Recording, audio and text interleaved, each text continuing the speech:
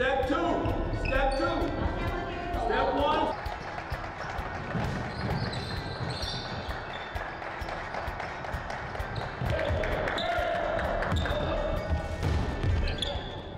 当然就很开心，只是可以入选嘛，然后就算是第一次就是上到蓝队的大名单里面，然后就很高兴，就是可以受到这个肯定，然后来接受训练这样子。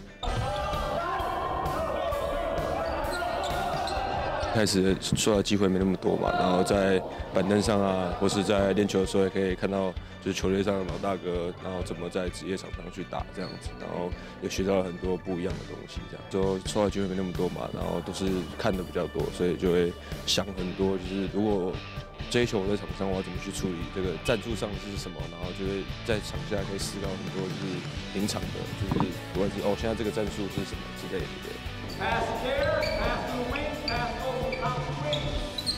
They've all played for me before, and including Jeff last summer. And I have great appreciation for all of them.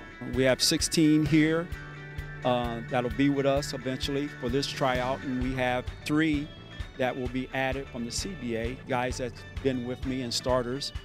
So the whole process is, is will, will take some time to make the final decision uh, to when we get to the final 12 that were playing the game. This is a generation. This is the future generation.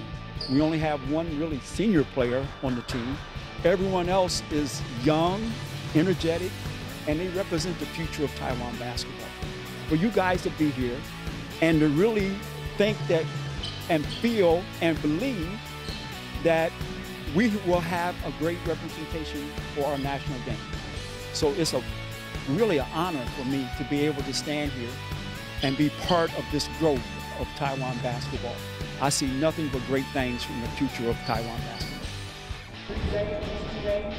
We are a family. Together. To, to unite.